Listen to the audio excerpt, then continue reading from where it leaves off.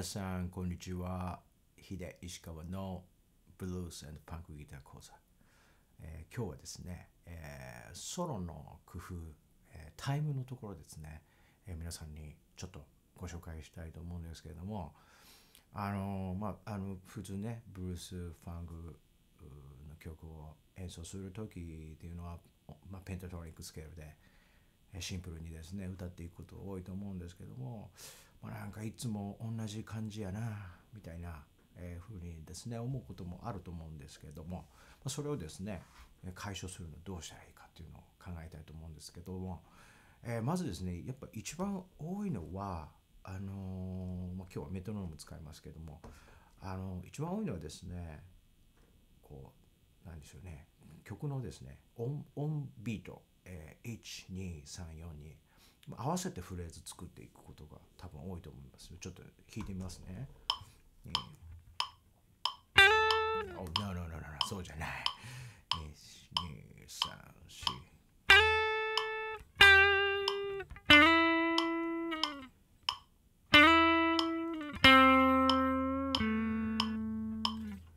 まあ、こういう感じで、えー、弾くことが多いと思うんですけれどもこれをですねほんのちょっとずらしていく、えーまあ、これを試してみますね、えー、この8分の裏のところから始める、えー、アクセントを全部そこに持っていくということです。ちょっとやってみますね。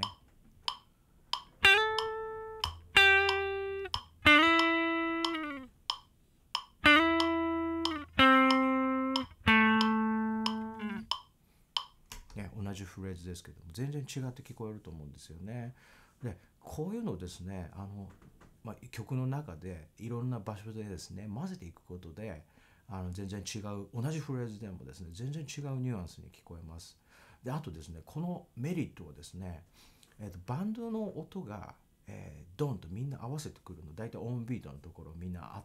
音が鳴ってますよね。で、えー、それの、えー、裏側っていうんですか音の少ないところとかに、えー、入ってきますので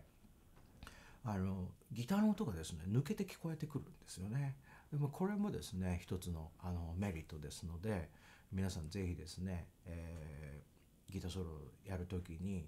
えー、オンビート1234以外のところで、えー、アクセント作ってこう弾いてみるというのをですね試してみていただくといいと思います。ちょっとねやってみますよね。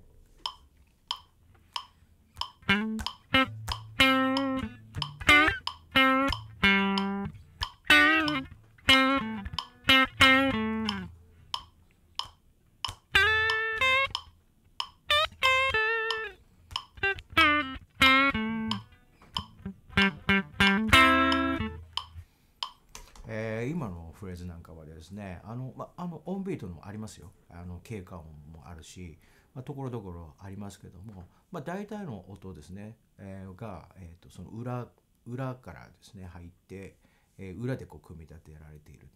まあ、こういうアプローチの仕方することで、まあ、ギターソロのですねニュアンス全然違って聞こえるので是非ですねバンドの中とかでですねあとセッションとかそういう時にえー、試してみていただくといいと思います。えー、今日はですね、えー、タイムのちょっとずらし、え裏から入るっていうのをですねご紹介しました。えー、ぜひいろいろトライしてみてください。それでは皆さんまた会いましょう。